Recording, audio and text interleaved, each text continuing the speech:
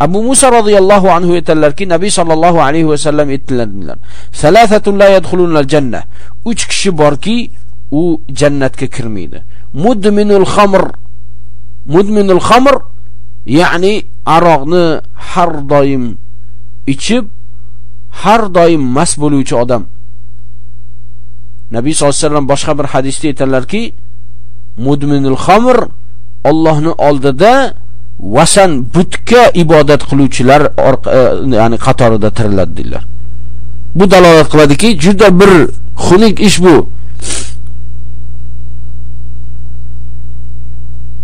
Ya'ni idmon bo'lishlik xamirda. Va bu haqiqatda aroqni ichishlik va o'ziga bir odat qilib olishlik bu odamni juda bir past holatga va hayvonlar darajasiga tushirib qo'yadi. Va ular o'zlash o'zlaricha o'ylashadiki aroq ichib oladigan bo'lsak qo'rqoq bo'lsak botir bo'lib qolamiz kambag'al bo'lsak boylar qatorida bo'lib olamiz. Ya'ni aqli yo'q vaqtda ahmoqdek yuraveradi u. O'zi bir burda non sotib olishga puli bo'lmasa ham yo'liqqan odamni hammasini o'zlarini va mulklarini ham sotib olaman degan gaplarni ham gapiraveradi. Va o'zi qo'rqoq bo'lsa ham eng botir odamni oldidan chiqib qoladigan bo'lsa o'shani bir egasidek sayyididek gapiradi. Buni hammasi bir odamni past darajasiga hayvonlar darajasiga tushirib qo'yadi. Va qancha qancha nodonligi sabablik mana shu aroqni sabablik qancha qancha bir Alloh subhanahu va taolo harom qilgan va uni g'azabiga yo'liqadigan ishlar va gaplarni gapirib qo'yadi. Shuning uchun bu aloq shariatda ummul xabais butun pas va iflosliklarni onasi diplom nomlanadi. Shuning uchun nabiy sollallohu alayhi vasallam salatatun la yadkhuluna jannah uch kishi jannatga kirmaydi. Xamr mudminul xamr birinchisi. Ikkinchisi qati'ur rahim. Qati'ur rahim ya'ni qarindosh urug'larni aloqasini uzuvchi. Alloh subhanahu va taolo qarindoshlar va qarindosh urug'lar orasini bog'lashlikni farz qilgan.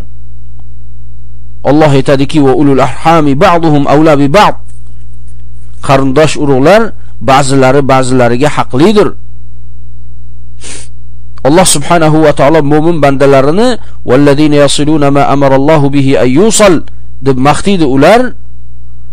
Alloh subhanahu va taolo o'zlarini orasida aloqa qilishlikka buyurgan shaxslarni orasini aloqasini qilishadi.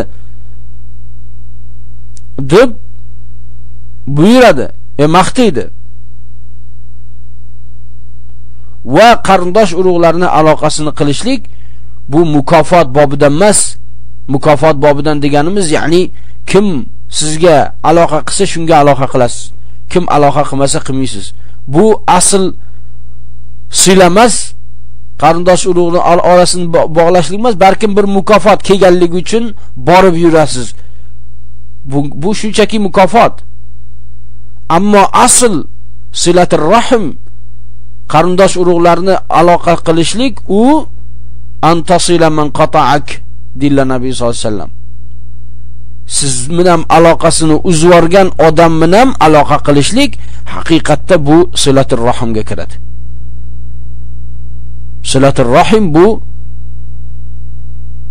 shariatda ulug'langan masalalardan va unga qarshi bo'lishlik bu tepadagi aytilgandek jannatdan mahrum bo'lishlikka sabab bo'ladigan amallardan va musaddiqun bis sihri uchinchisi sehrni tasdiqlovchi. Sehrni tasdiqlovchi. Bu sehrni tasdiqlovchi degan hadisni lafzni munajjimlik bobida keltiryaptilar sababi Nabiy sallallohu alayhi va sallam o'tgan boblarda aytgan hadisimizda man iqtabasa shu'batan minan dujumi faqad iqtabasa shu'batan minas sihr. Kimda kim ana shu munajjimlik ilmidan biror narsani o'rganadigan bo'lsa u sehrli bo'laklaridan bir bo'lagini o'rganibdi. Deganlari bu munajjimlikni sehrga kirgizyaptilar va bu hadisda sehrni va mana shu munajjimlarni bergan xabarlarini tasdiqlovchi u jannatga kirmas ekan. Endi bu sehrni tasdiqlovchi jannatga kirmaydigan bo'lsa u sehrni o'zini qiluvchi kim bo'ladi unda? Min bobi avlo uning vaidi qattiqroq.